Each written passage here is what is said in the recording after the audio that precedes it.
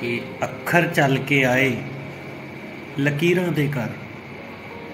ਅੱਖਰ ਚੱਲ ਕੇ ਆਏ ਲਕੀਰਾਂ ਦੇ ਘਰ।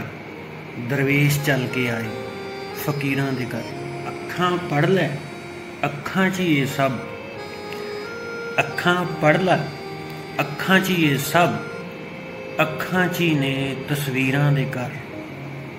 ਦਰਵੇਸ਼ ਚੱਲ ਕੇ ਆਏ ਫਕੀਰਾਂ ਦੇ ਘਰ। ਤੂੰ ਇੰਨਾ ਸੋਚ ਨਾ ਵਾਰ ਕਰ। ਤੂੰ ਇੰਨਾ ਸੋਚ ਨਾ ਵਾਰ ਕਰ।